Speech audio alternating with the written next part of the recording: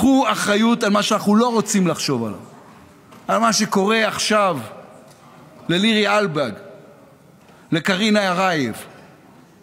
אתם אחראים למה שקרה לנו כחברה, כמדינה, כבני אדם. אתם אחראים לזה שהמדינה המדהימה ביותר בעולם, מדינה שמחה, מצליחה, אופטימית, הפכה למדינה מוכת צער, סחופת יגון, הולכת מדיכאון לדיכאון לדיכאון.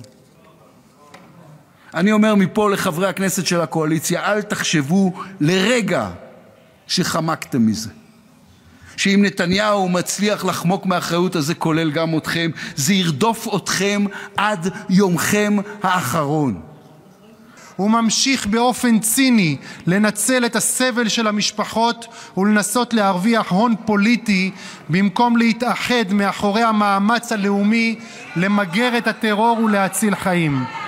איך אפשר להגיע לעסקה ממקום של עוצמה אם אתם פועלים כשופרות של דף המסרים של סנוואר?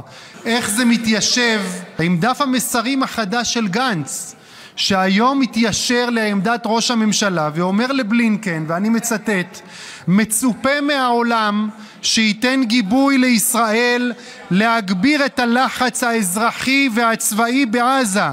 זה מה שהביא את עסקת החטופים הראשונה וזה מה שיזרז את הכרעת החמאס וזו העמדה של ראש הממשלה.